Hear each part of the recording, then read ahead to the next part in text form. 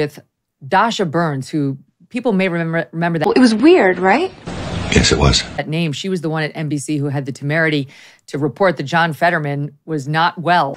That actually was pretty funny. off cam.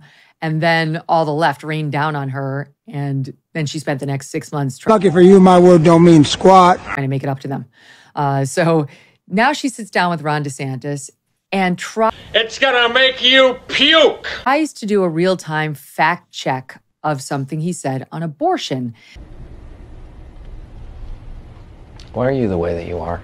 The shorter clip is playing uh, in some circles. I'm going to play the longer clip. He did push back on There, there's clearly some dementia. He's, he's not lucid. her in the moment. And after the interview, his team is pushing back even harder. Very long.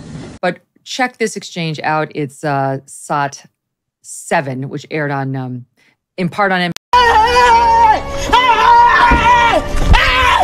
Why are you running? Why are you?